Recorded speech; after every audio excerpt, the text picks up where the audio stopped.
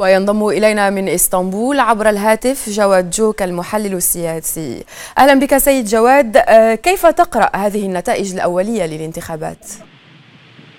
يعني بصراحة الشعب التركي أعطوا درسا للحكومة التركية والتراجع واضحا للأصوات حزب العدالة والتنمية الحاكم.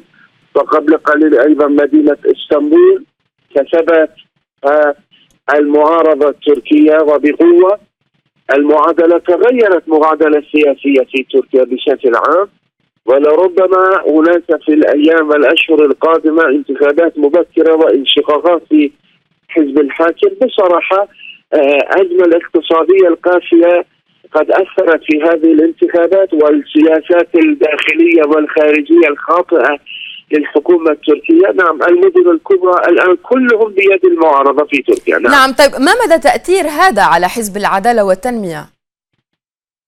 طبعا يعني هناك نفسيا هم منهزمين والهزيمة واضح في صفوف حزب العدالة والتنمية الحاكم. نعم هم يجتمعون ويجلسون ويحققون أخطاءهم لكن بشكل عام آه، التراجع واضح في شعبيتهم الآن التوقعات أنه انشقاقات ولربما تشكيل حزب جديد في تركيا والخوض في انتخابات جديدة. بصراحة يعني الديمقراطية كانت واضحة. نعم رغم إرادة الحكومة التركية الشعب التركي صوتوا. ولو كانت وسائل الإعلام التركيه حياديه لكانت النتائج أثقل آه، أصعب بالنسبة إلى حزب الحاكم. نعم طيب هل من استراتيجية معينة آه، لحزب العدالة والتنمية آه، لاحتواء هذه الخسارة؟ بصراحة لا يوجد عندهم برنامج ليقدمون للشعب التركي. يعني مشاريعهم الاقتصادية والسياسية كانت فاشلة. في الآونة الأخيرة كان التواتر والاستقطاب في صفوف الشعب التركي واضح.